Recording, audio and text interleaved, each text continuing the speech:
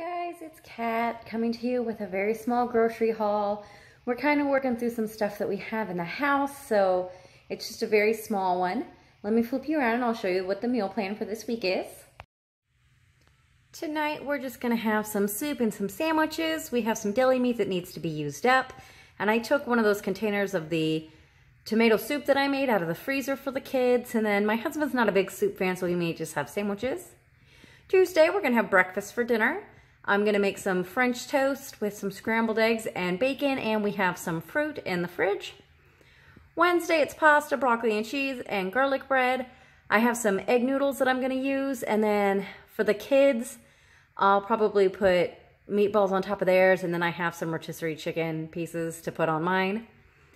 Thursday's gonna be something new that I'm starting called $5 meals. It's gonna be called thrift, uh, Thrifty Thursdays where I'm going to try and feed my family for $5 for dinner. So we'll see how that works out and I will probably make a separate little playlist of that if that ends up working out. Friday we're going to try something new, pizza fries. Saturday is the day I don't cook. And Sunday we're going to have shrimp over pasta with cheddar biscuits. And I put and because I'm not sure what vegetable I'm going to pair with it just yet. Okay, so let me show you what I got. That is the very small amount of groceries. That's just the overview. And let me show you what we ended up getting.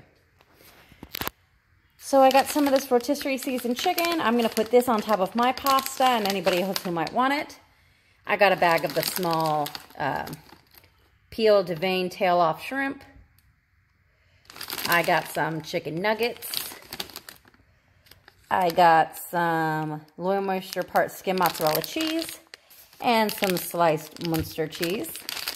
I got some cubed Colby Jack, uh, Colby and Monterey Jack cheese. I got two of these little bologna Lunchables and then two of the pepperoni ones. I actually only ordered one of each, but they gave me two.